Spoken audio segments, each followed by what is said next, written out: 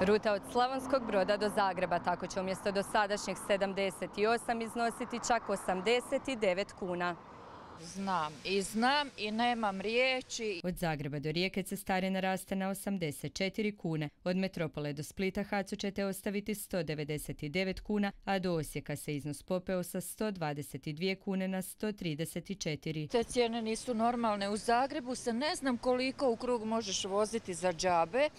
Znači, a mi koji Slavonije idemo po potrebi, idemo na liječenje i za razne druge zaista neke potrebne stvari, mi moramo toliko skupu cestarinu platiti. Iako ona neće utjecati na odluku o ljetovanju, dobar je udarac na džep građanima, osobito onima koji autocestama putuju često. Mislim da je to dobro za strance, ali nije dobro za ove domaće. Malo kaže situaciju spašava ENC koji ipak donosi uštede. Rješenje u vikendima koji donosi gužve smatra bile bi vinjete. Za druge pak u poskupljenju cestarina nema ništa sporno. Ako neko to koristi, ako ima e, u vezi sa privredom i svega ostaloga, vjerujem da to nije veliki izdatak. A i za mene nikad gorivo nije poskupilo zato što gorivo uvijek kupim za 200 kuna. Iz HAC-a poručuju na ovaj način samo žele povećati prihode.